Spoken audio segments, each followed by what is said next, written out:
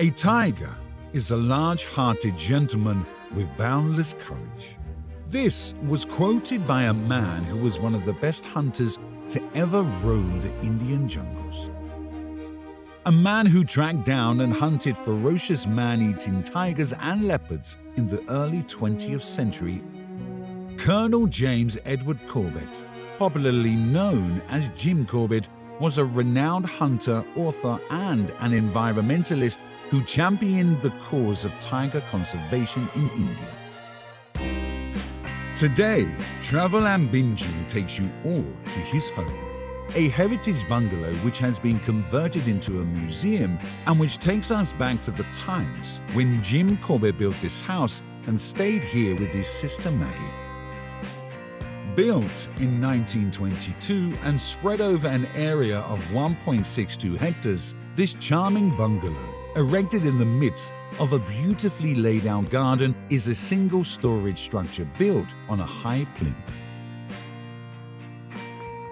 The museum showcases some memorabilia connected to Jim Corbett, which includes some great valued personal belongings, letters written by him, as well as his friends and well wishers antiques, and rare photographs.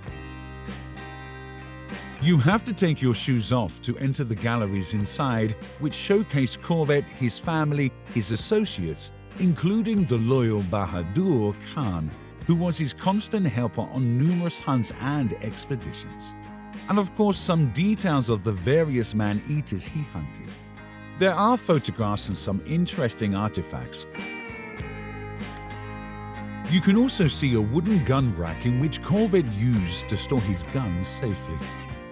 The museum has also preserved several articles of furniture made by Corbett himself.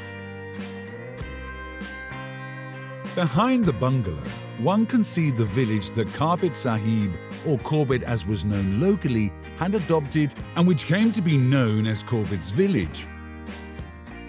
This museum is a must visit and for a Corbett aficionado, no visit to Corbett Tiger Reserve is complete without a visit here.